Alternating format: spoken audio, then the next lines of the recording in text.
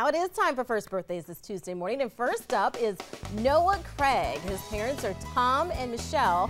Noah loves splashing in the tub, driving his toys, cars around, and wrestling with his big brother. Lots of energy, that oh, little guy. it sounds like it. Happy birthday to Haley and JC Lynch. Kelly and Jake are their parents. Haley loves to talk around the house and play with the dog. JC loves getting into whatever she can and eating. That sounds like they're a good team. Yes. If you want to share a picture of your little one, all you have to do is log on WOWT.com slash first birthdays. Just upload your photo.